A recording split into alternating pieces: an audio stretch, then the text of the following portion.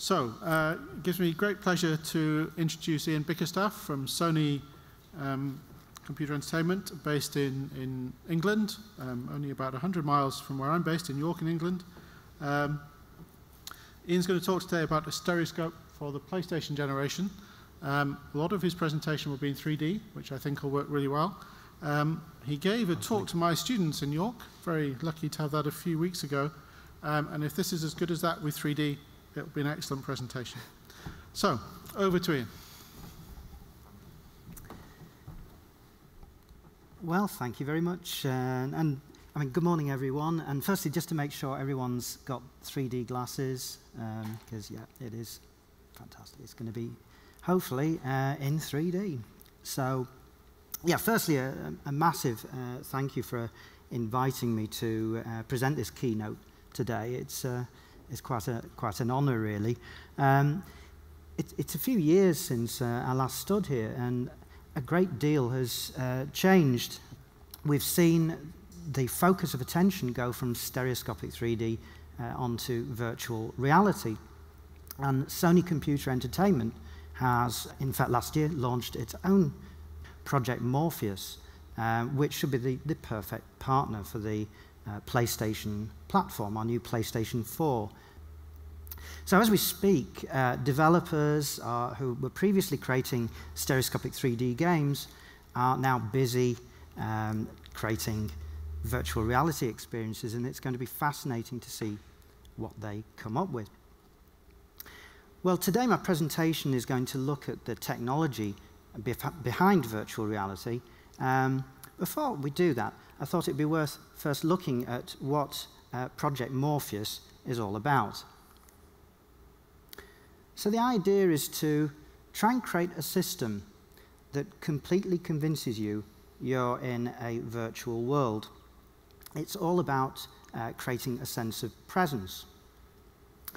And the way we do that is with various components. So we have a small display situated right in front of your eyes based on mobile phone technology.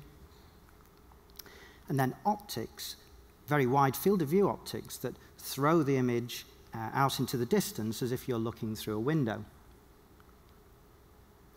We add to that accurate 360 degree head tracking, both in terms of position and orientation, so that no matter where you're looking, the image looks correct all around you, and that completely immerses you in the virtual world. We can also add binaural 3D audio as well um, through a pair of uh, headphones. Now, this doesn't just uh, work like normal stereo, it models the way sound enters the human ear. So it uh, doesn't just appear to come from the left and right, but from in front and behind you, and even uh, above and below you as well. We can interact with the virtual world using tracked peripherals, and on the PlayStation we have uh, our Move controller, which is optically tracked. And also the main game controller for PlayStation 4 is itself, uh, has li a light bar, as it's called, and that uh, can be optically tracked as well. And we don't want to isolate the player in the virtual reality experience. This is uh, often a criticism of virtual reality. So we can send the image from the device to a television so that other people can uh, enjoy the virtual reality experience and maybe interact with it uh, as well using perhaps their tablet or their mobile phone. So here's the thing the concept actually is a lot older than you might imagine. And in fact, it dates all the way back to here with uh, Morton Heilig, who's proposed this uh, virtual reality device, head-mounted display. And let's have a look at the specification. He had wide field of view optics as well. He also mentions binaural 3D audio and uh, an internal air circulation system even that uh, simulates the breeze on your face and all with a comfortable, balanced, ergonomic design. So the question is, well, why have very few people heard of that? What, what went wrong? And really the answer is that, of course, the technology wasn't available at the time to create such a device. In fact, it's only just available now, and when I say just, I mean within a matter of months. We've got a situation where the mobile phone industry has uh, had enormous advances in display technology and also movement detection as well. And the uh, console game industry has given us uh, amazing real-time image generation capability to feed those displays. And we've got other progress uh, in all sorts of industries, anything from audio processing to uh, computer designed optics uh, as well. But having said that, I mean, although it's uh, fantastic to have a computer designed optics, actually the basic principles of the optics date back an awful long time. So before I said it gives the impression that you're looking through a window, well, what does that mean? Well, in a sense, it's all about asking a question of what's the difference between looking at an image on a screen and looking at the real thing through a window. And I suppose a lot of it is down to what happens when you change your viewpoint. So here I'm moving this camera around and you can see that the two images are behaving in a completely different way. We've got um, motion parallax there. There's only one position where the two images line up. And even in that position, they're focused at a completely different distance as well. So the question is, could we come up with a device that solves these two problems? Well, the answer is quite a simple one. All we need is a magnifying glass. We just place the magnifying glass in front of the display and then the image on the display appears to have come, come from somewhere in the distance. Well, it's all very well showing a diagram, but I thought I'd show you what it actually looks like. So here I've placed a magnifying glass in front of the display, and now you can see that as I move the camera around, the image on the display pretty much perfectly lines up with the view out of the window. And it's focused at the same distance as well. In fact, it has to be for this particular illusion to work. Now, in order to achieve this, the alignment of the components is really critical. So the projection center of the image on the display has to exactly line up with the optical center of the lens, and the fields of view have to match as well. So for binocular vision, we effectively need two sets of lenses, and now we're getting very close to the sort of optical arrangement that we have in our head-mounted display the images are arranged in a side-by-side -side configuration with a central septum dividing uh, the display in two so that the left eye only sees the left eye image and so on. Now actually this arrangement dates back all the way to Sir David Brewster's original lenticular stereoscope from uh, 1849. And at that time, it wasn't possible to make lenses with a consistent focal length. So he came up with the innovation of using a single large lens, dividing it in two, and then that gives you the two eyepieces. Swapping them around, you can see that the optical centers are now a bit further apart than our eyes are. And so this dictates the uh, size of the image on the display as well.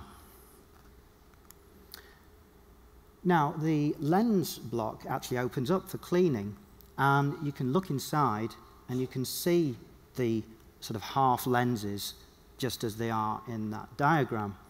And they, they look like prisms, don't they? So it's sort of, it is deflecting the light inwards towards your eyes. The images themselves were supplied on interchangeable uh, stereo cards, and I thought I'd show you a, a selection of just a, a, few images that were created around that time. Or in fact, uh, in this case, we know the exact time. It was the 12th of August, 1858. And the images look impressive now. And it's almost impossible to imagine how astonishing these images must have appeared at that time. So the device allowed you to illuminate the cards from the front using a mirror arrangement, and that gave a very directional light, which was necessary for the early silvery surface of daguerreotype images. But also you could view glass slides as well using the uh, ground glass screen to give you back illumination. Now, I may be wrong about this, but I suspect that the original stereoscope uh, was probably one of the very first modern consumer products. You had the concept that you bought a device and then you bought content for it, the hardware software uh, idea. And certainly these stereoscopes were manufactured in enormous numbers, and so, of course, were the stereo cards. Now, inevitably, you get a, a, situation from time to time where there would be manufacturing defects. So, for example, the stereo cards could be um, vertically misaligned, for example. And this next stereoscope has a very innovative way, quite a simple way, of solving that problem. It was made by the optical instrument uh, manufacturer Smith Beck & Beck around about 1860. And they also made Charles Darwin's microscope. So we're talking the, uh, the ultimate in quality. It's full of innovations, but let's see how it goes about solving um, misaligned stereo cards. So here we have our misaligned stereo card. We've got vertical misalignment. And what he did was you rotated the eyepieces, which had the effect of rotating the prismatic lenses so that instead of just having a sort of horizontal shift towards your eyes, you got a little bit of a vertical shift as well to correct for the parallax errors. So let's have a go at doing that. Uh, if I can advance the slide. Try again. There we go. And so we rotate the lenses and correct for the misalignment. Now, of course, you have to remember to put the lenses back again when you're viewing the next stereo card. So this stereoscope from about 50 years later takes things even further, and we've now got full calibration of the adjustment. But here's a funny thing. I mean, it's a brilliant stereoscope and amazing optical quality, but it's actually quite difficult to get an image on it. If you put your stereo, stereo card uh, in the device, it takes ages to set up all the adjustments to get uh, a good image. Compare that to, if the clicker will advance, there we go, uh, to the simplicity of the Holmes Bates stereoscope. This is regarded in, by many as the classic stereoscope. And all American design, made uh, in massive numbers. It's very simple to make and also simple to use as well. You could just view cards in the device, not much adjustment, just focus, uh, and it worked very well. And take things a step further still, and we've got ViewMaster, where there is no adjustment whatsoever on the device, and yet it works for both adults and children alike.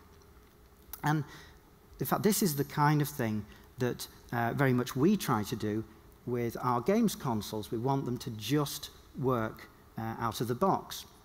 So some of the design features of this could very much uh, be used uh, by ourselves to make the device simple to use.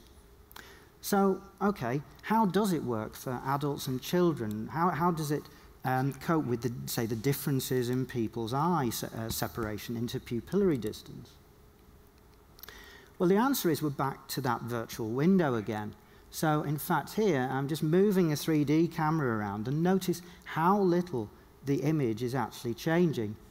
And this means that the position of your eyes is actually uh, not, not really critical at all. You can have your eyes in any position, or indeed any uh, interpupillary distance, and you'll still see the same image. We can rotate it vertically. Okay, the image is rotating, but we're not getting any vertical parallax. Move it in and out, the image doesn't scale in size. So that's very handy from a software point of view. We can just use a fixed field of view. Now, some people talk about the separation of the lenses in the stereoscope as uh, an interocular adjustment. And in fact, it, it isn't. Um, it's for uh, adjusting for different stereo cards. Let's see what would happen if we did adjust the lenses to match our eyes. So this is the classic stereoscope arrangement, and the lenses are matching the projection centers of the image if we, oops, there we go, move the lenses inwards, suddenly our stereoscope design has gone wrong. And in fact, we'd now have to diverge our eyes to see the image. We'd have to move the projection centers inwards to match if we were trying to do that. And it's amazing how many uh, books talk about uh, moving the lenses as an interocular uh, adjustment. Even Sir David Brewster, in his original book, talks about moving the lenses from side to side to adjust for people's eyes. And you don't have to, it's, it's actually for adjusting for the different stereo cards. So, what have we learned from all this? Well, certainly the internal alignment is very, very critical, and actually it's better to not provide it as a user adjustment because people probably don't know what they're doing. But the good news is, if you get it lined up correctly, the uh, external alignment is very tolerant. If you think of the ViewMaster, it just works, and that's ideal for what we're after. Okay, well, the stereoscopes so far have had quite a narrow uh, field of view, but really we would like, if it goes on to the next slide, um, we'd like to have a much wider field of view to immerse ourselves in the scene. Now, certainly, as stereoscope design advanced, they managed to reduce the focal lengths of the lenses to give you a wider field of view. But typically, they more used it for um, creating smaller stereoscopes, more compact stereoscopes. So you might ask the question, well, why didn't they want to produce incredible immersive ultra-wide field of view images.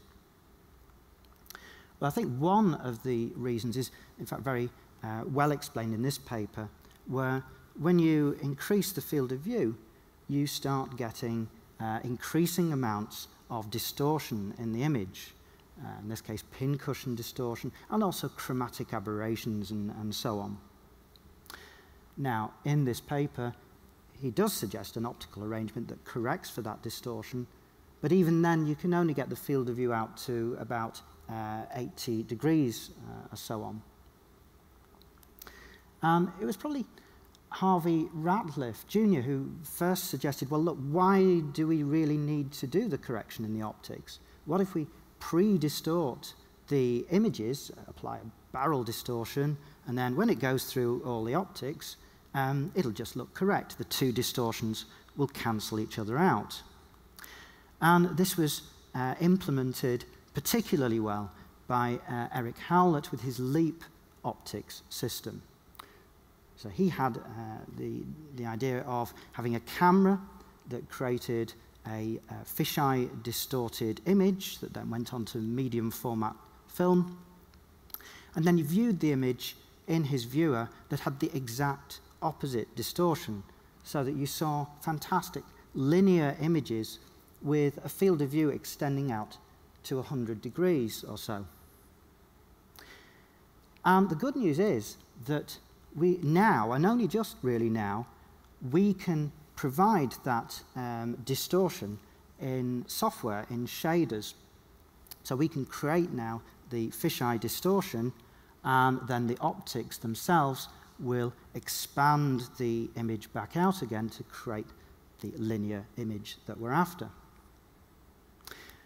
And it also has an advantage that if you look at the pixels, the smallest in the center, which hopefully is where you're going to be looking, and largest at the edges, which hopefully are going to be towards our peripheral vision. So this is quite an efficient use of the pixels on our display. Now, when you get to very wide fields of view, all sorts of other things start to take effect like, for instance, the effect of eye rotation. So imagine you're looking straight at the center of the display. The edges of the display are going to be seen just in your peripheral vision. If you try and look towards those edges, you, you rotate your eye, and your pupil has actually changed position.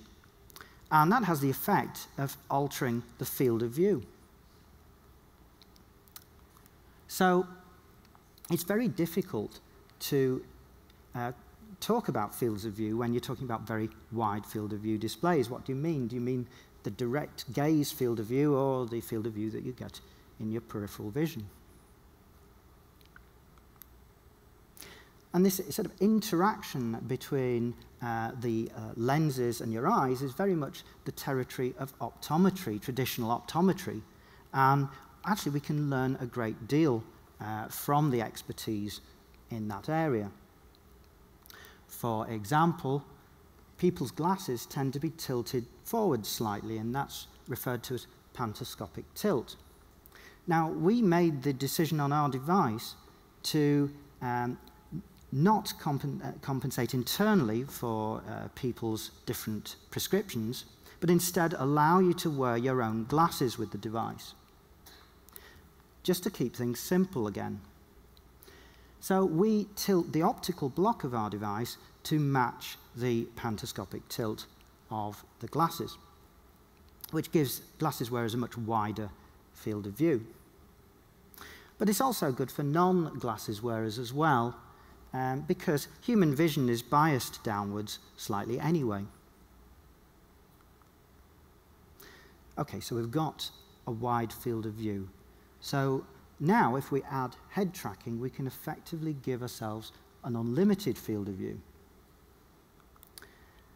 Now, head tracking with computer-generated images was uh, first carried out by Ivan Sutherland back in the late 1960s uh, with a mechanical arrangement and simple wireframe graphics to keep the frame rate high. There's various different ways you can do uh, tracking. On our device, we have on board uh, accelerometers and gyros. Accelerometers measure, of course, acceleration and gravity as well. And the gyros measure uh, orientation changes. And also, we've got a number of LEDs that are, can be tracked positionally by the PlayStation 4's own stereoscopic camera. So how does this all work? Well, imagine that this is the head movement that you're trying to detect. The accelerometers and gyros data come in at about a thousand times a second and give you this sort of effect where you're getting all the high frequency movement being captured really well. But if you look very closely, you can see it's not actually pointing in the right direction, and it's going to drift over time as well. The feed from the camera that tracking the LEDs gives you a very different kind of data. It's coming in at a much lower rate, 60 times a second, but it's accurate and it doesn't drift. So what we do is we take those two types of data and fuse them together to give the best of both worlds. So now we have high frequency tracking that also is accurate and doesn't drift over time.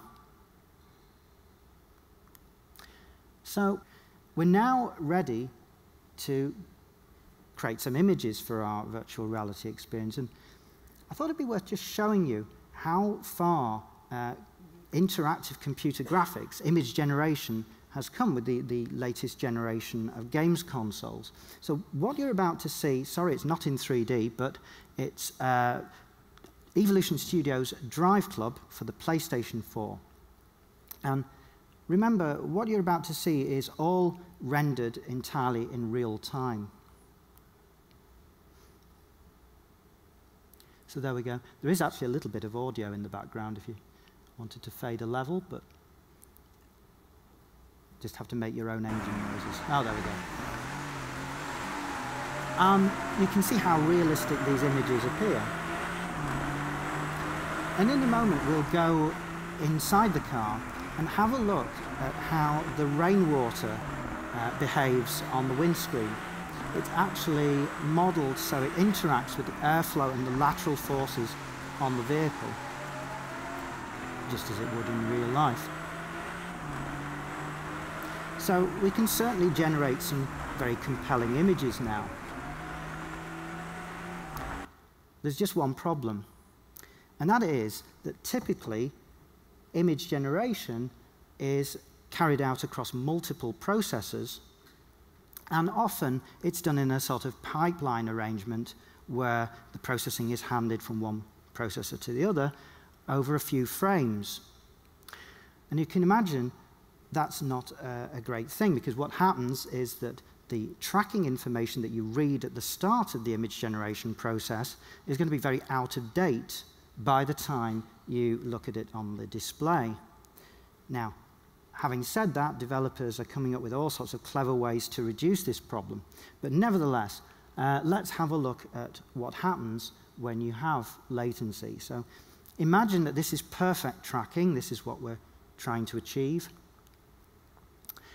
If we add latency, we get this kind of effect. So there's a bit of a delay, and in particular, it's going to be horrible when you stop turning your head and the whole world carries on moving. That's going to be really disorientating for people, and we have to do something about that. So, what's the answer? Well, one thing we can do is make a prediction of where the viewer's head is likely to be at the time when the frame is being displayed. And with 1,000 hertz uh, sensors, we can actually do quite a good job of that. So this is sort of what we get with prediction. Now, often, using prediction is sufficient to solve the latency problem, but here I've slightly exaggerated the effect, and you can see it's, it's not perfect. It's been caught out at the beginning and end of the motion because it, you, obviously you can't predict those things correctly. So there is a, another technique that is available to developers, and that's referred to as last-minute reprojection. So the idea with that is that just before you display the image, you reread the tracking information, and that gives you the error that you're going to have. And then you just shift the image slightly to compensate for that error. So this is what you get with reprojection. And in fact, you can see that now we're getting very, very close to perfect tracking. In fact, the only thing that gives it away is if you look at the edges of the image, you can see that they're sort of slide, side slipping um, to a certain degree. And we can correct for that by just rendering to a wider field of view. So actually, it's now possible to create the illusion of zero latency, which uh, is really essential for virtual reality to work. So there's a lot of uh, things that we've been, we're now able to do that, say, in the 90s we, we couldn't achieve, and it's all down to increased processing power. We can do that optics pre-distortion to the LEEP style uh, wide field of view optics. We can uh, do good quality head tracking and sensor, fu uh, sensor fusion and so on. Of course, we can generate compelling looking images and also correct for any latency problems as well. So right, finally we're ready to show some stereoscopic 3D on our device. Now, traditional uh, 3D displays are referred to as only being able to show a narrow range of parallax uh, with a guaranteed level of comfort. And so we use stereography to manage the 3D settings, the interaxial, uh, and horizontal image translation. Um, last time I demonstrated some software that allows you to do that uh, with with games. So you can see as I'm moving the camera around, it's constantly adjusting the 3D settings to maintain comfort. But here's the question. Why do we need to do that? Why can't we just show the full range of parallax? And in truth, you probably need a whole conference to answer uh, that question, and I suspect um, throughout this conference, we'll be looking at that. Um, but I suspect a lot of it is down to you, typically people not viewing the content from um, the exact perfect position in front of the display. If you're a little bit off axis, you're going to get uh, a bit of keystone distortion, vertical parallax, that kind of thing. Certainly it's true that if you compensate for the viewing position, you can show a much wider range of parallax comfortably. And anyone who's familiar with using a virtual reality cave will know that, that you can show a lot more parallax in a device such as that without too many problems. Now, the head-mounted display had that virtual window idea, so we can maintain the uh, consistent viewing uh, scenario. And whether it's for reasons of that or other reasons, one thing is certainly true, you can show a much wider range of parallax um, in a head-mounted display than you can on a uh, con, um, traditional um, 3D display. So we have the uh, ability to show orthostereoscopic depth, real-world one-to-one depth. We can have perfect matched fields of view, have the cameras where our eyes would be, and that should greatly enhance the sense of immersion. Having said that, that doesn't mean to say that uh, we can dispense with the concept of having comfortable 3D. So have a look at this image. So this uh, image is within a parallax range that would be legal to be broadcast on Sky's 3D channel. And yet, as you can see, it's horrible. And now, I'm not an expert at this kind of thing, but I suspect the problem is that um, we can only fuse a narrow range of depth at any one time. Anything beyond that, and you see a double image, and you have to reconverge your eyes to view it. And what's happening with that text in the middle is we're probably having to reconverge our eyes for every letter, which is really horrible. In fact, I'll get rid of it. So we can move the parallax to a narrow range, and suddenly it is comfortable to view. Now, this isn't just a problem with virtual reality, it's a problem with the real world. And it's why cars are now being fitted with head-up displays so that the um, driving information is being shown at the same depth as the road where the driver is looking. And we need to do this in virtual reality as much as possible when we're showing user interfaces. We need to keep the depth close to where we expect the viewer is going to be looking. So we've got orthostereoscopic viewing conditions. And actually, this is something that the Victorians were able to do as well. Typically, the 3D cameras had lenses roughly six and a half centimeters apart, similar to our eyes, and the focal length of the lenses in the cameras matched the focal length of the stereoscopes. And I'll just demonstrate that um, with this example here. So the image on the left I took a few years ago uh, using just a, a, compact camera with the image at a particular uh, focal length. The image on the right I took with the same compact camera, the same focal length, but looking through a stereoscope. And this time it's looking at a glass slide taken by Charles Breese back uh, in 1860, exactly the same view. And here's the thing, I've cropped the image for the presentation, but I've not scaled it. The two images are exactly the same size. So in other words, the image on the display was exactly the same size. And what that means is that when we're viewing that image in the stereoscope, we are seeing Fountains Abbey at the exact same size that it would have been um, if we'd been there in 1860 looking at it for real. So it's powerful stuff. And of course, we can do more than that in virtual reality because we've got head tracking. So, for example, we could record the orientation of the camera and show the image in the same orientation that it was taken. So, if you were looking at a tall building, then why not uh, show the photograph in that orientation? So, you have to look up to see it. But of course, we can do so much more with virtual reality. We can uh, project images onto, for example, a sphere, view it from the center of the sphere, and we can have a complete 360 one-to-one recreation of the world. And the images can be stored in this format, which is referred to uh, as equirectangular projection, and it's a bit like how a map of the world is done. Now, capturing images for virtual reality, well, we could use a conventional camera.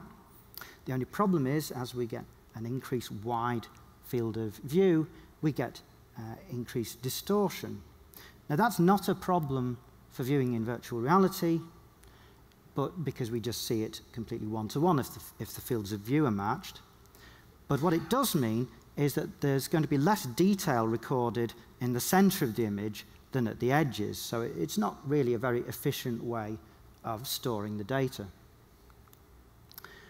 A better approach, if the clicker will work, oh, there we go, is to use a fisheye lens. And if we look at the same regions again, you can see they're much more consistent, uh, which is what we're after. Now, when we want really wide fields of view, then we're into the realms of needing multiple cameras and stitching the images together. And the only problem with doing that is that any difference in the position of the lenses is going to create parallax, which is going to make the images difficult to stitch together. So really, you want the lenses to be as close together as possible. And the Fraunhofer Institute have come up with a quite innovative solution where they use mirrors so that the reflections of the cameras all appear at exactly the same point. So that means that images captured with that camera don't have any parallax stitching problems. Now, so far I've conveniently talked about monoscopic image capture, but of course this is a stereoscopic conference, so really we want to capture uh, 3D images for virtual reality. Now, we have a massive problem here because when we create a stereo pair, the parallax is only recorded in one direction. Having said that, traditional IMAX uh, 3D films actually work very well in virtual reality, particularly the shots created with a 30 millimeter fisheye lens, which gives you a view out to 140 degrees. And if you undistort it and make it um, you know, perfect and linear, it looks absolutely stunning. If we want wider fields of view, we're back to using multiple cameras again. And you can extract the images with this technique that's probably too complicated to mention uh, briefly, but you can create the two left eye and right eye images uh, for the 3D. There's just one problem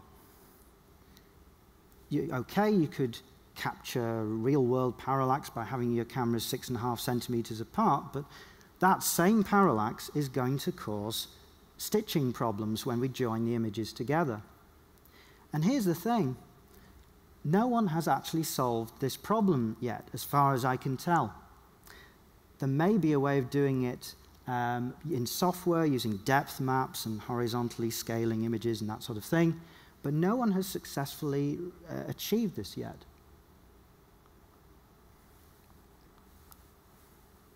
For static images, it's a simpler uh, situation.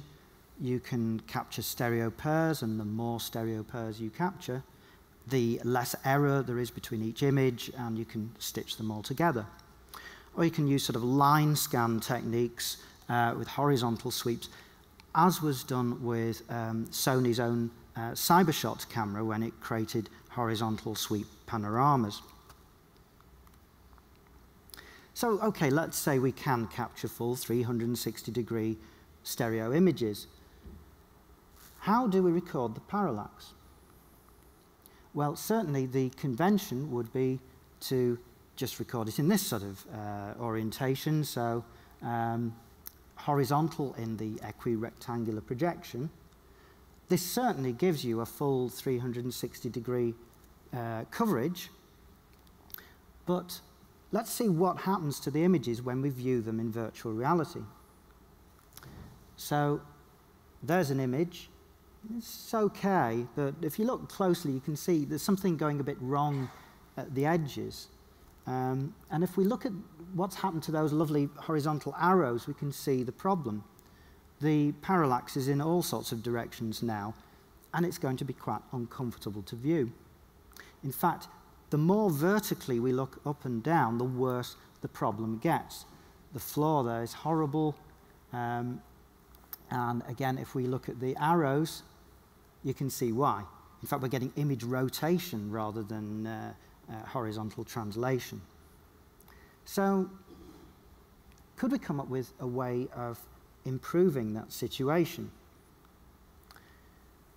If you think about it, in virtual reality, you can, you're representing depth with the photograph in two ways. You've got the uh, distance of the screen, the virtual screen, that is, not the head-mounted display, and then the parallax on that screen, which can be, of course, negative and, and positive. And it's the parallax that's the bad thing. That's the thing we want to try and get rid of. So could we apply horizontal image translation to reduce the parallax from the source image and move the screen to compensate? So I'll, I'll show you what I, what I mean. So imagine this situation where the zero parallax point is, well, a very long way away. So this would need to be shown on a really large sphere, and everything else is in negative parallax coming towards you. Well, if we want to look at the floor, what we could do is apply horizontal image translation to reduce the parallax, and then view the image on a screen that's much closer towards us, let's say about the distance of the floor, maybe one and a half meters. So this was our original image of the floor, and yeah, it's horrible, and it's horrible because the floor is being represented with, by an enormous quantity of negative parallax um, on a screen that's a very long way away. So there we go. We've just applied the uh, correction so now the parallax is removed from the source image and it's shown on a much smaller screen. The depth in the areas that were okay will, will still look um, perfectly fine, but we've now got a much more viewable image. So it's a funny situation, really. Traditionally, with stereography, we looked at having a fixed screen, and then we apply dynamic calculations to uh, keep the parallax viewable. And we've sort of got the reverse process now where we're talking about using fixed camera settings, but then maybe dynamically altering the screen to match the viewing conditions. So that's something that uh, is still very much an area of research. There are actually some more fundamental problems with uh, capturing images for virtual reality. This one. If you've got an omnidirectional camera, actually, where do you hide the camera crew? In fact, how do you even cope with the tripod? And actually, there's a more fundamental problem with, um, or challenge, shall we say, with virtual reality content in general, not just photographs. And that is, how do you know the viewer is looking in the right direction? How does the viewer know that there's not something much more interesting going on directly behind them uh, all the time. So that is uh, certainly a challenge. But having said that, um, London Studios uh, last year created a demo uh, for Project Morpheus that actually exploits this uh, problem and creates a very unnerving effect. It's a shark cage diving experience. Now, what I've done today is I've attempted to transfer it onto the uh, screen for you, but the original was all sort of orthostereoscopic and so on. So um, it doesn't work so well. You have to try and use your imagination. Try and imagine that you're looking at this with a 90 degree field of view, with full head tracking, binaural 3D audio. And also bear in mind that what you're about to see is not a movie. All the images that you see are being calculated and, and rendered in real time.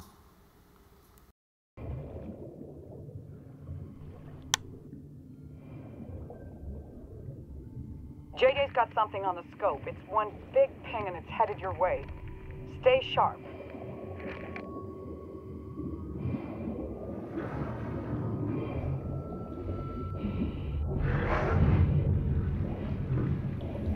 That's only going to annoy it.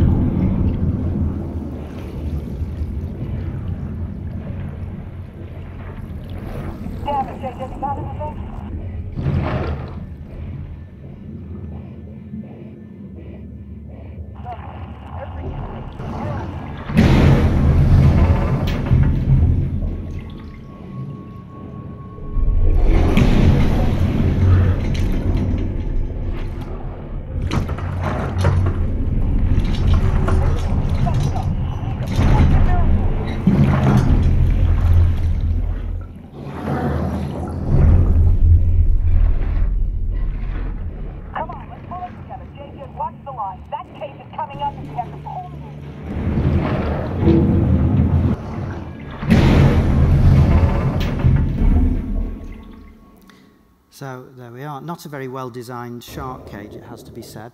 Um, but remember, as I say, all those images are being generated in real time on the PlayStation 4. So we're seeing that there's actually a great deal uh, that we still have to learn with virtual reality. And actually, this is a bit of an admission, but we as an industry um, only know a fraction of the knowledge that's already been amassed uh, with virtual reality research over the years. So there's an enormous opportunity for people to rediscover lost experiments, maybe recreate them with the new technology, and also to do exciting uh, new research of your own. So, just to conclude, we've come an enormously long way in the, in the last 160 years, and yet I, I really think that, in a way, we're only just at the beginning. And it's going to be fascinating to see how this uh, technology progresses in the future. So, thank you very much.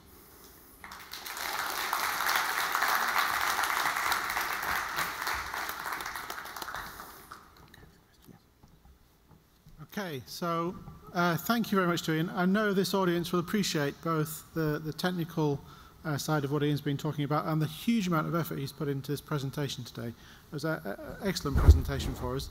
Um, and if anyone's got some questions, he's um, able to answer many things, but not necessarily everything. I'll do my best.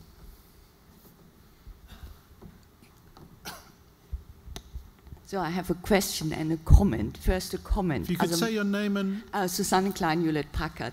So first, other mother, I'm giving up now. If this headset comes out, I will not be able to get my sons off the PlayStation ever again. so don't do it. Sorry the- about that. um, so the question is about motion sickness, because now the virtual reality is, de- is detached from any gravitational information. So with the static stereoscopic view, it's not so much a problem because it's still.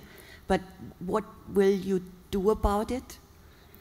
Well, you notice that quite a lot of those demonstrations involved static viewpoints, and something like the shark diving experience, uh, you know, was like that.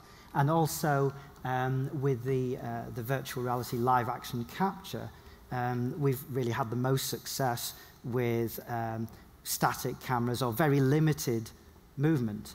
And I think it's it's cautious steps really.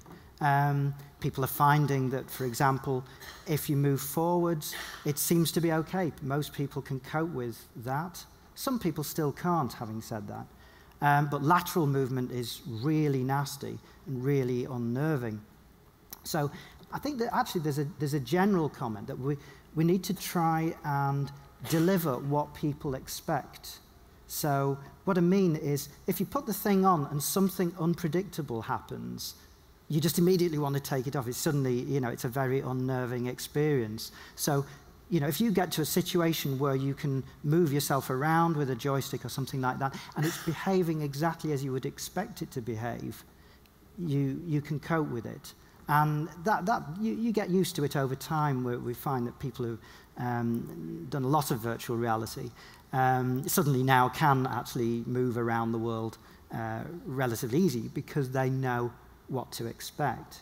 It's a, it's a bit like driving a car and hitting a spot of black ice or something, and it's that feeling of I'm, out, I'm suddenly out of control. And as long as you maintain control, um, we seem to have a lot more uh, success.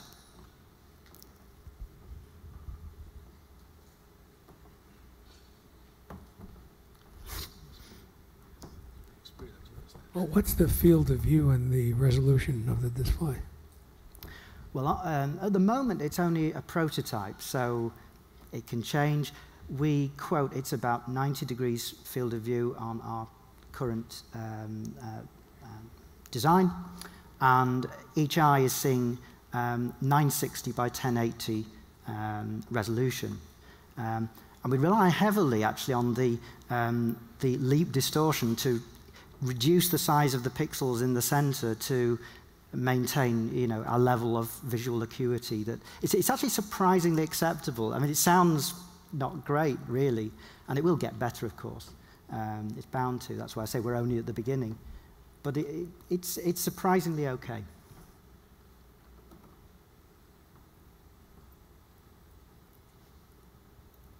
John Merritt I want to congratulate you on showing this audience one of the most beautiful uses of stereo in a presentation that I've ever seen. Thank you.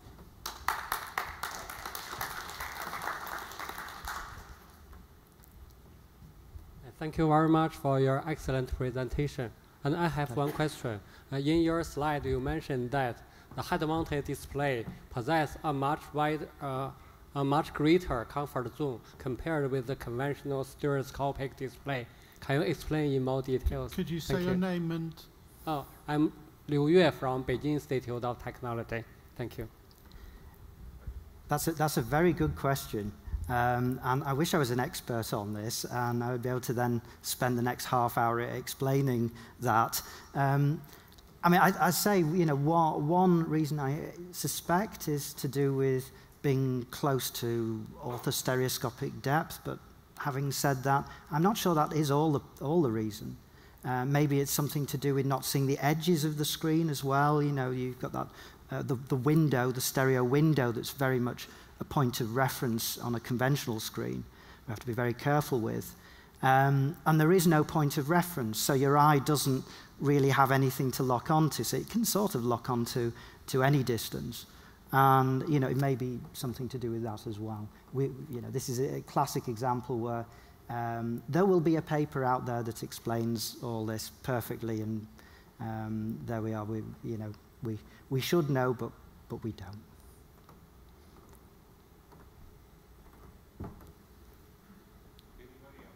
Any more questions? So Ian's going to be here uh, through till Wednesday for the discussion forum. So um, you can grab him at any time yes. while he's still around and ask him uh, more detailed questions. Um, otherwise, we're back here uh, this morning at uh, 10.50 for the session on 3D camera designs. Um, I guess one more uh, round for, for Ian's excellent presentation.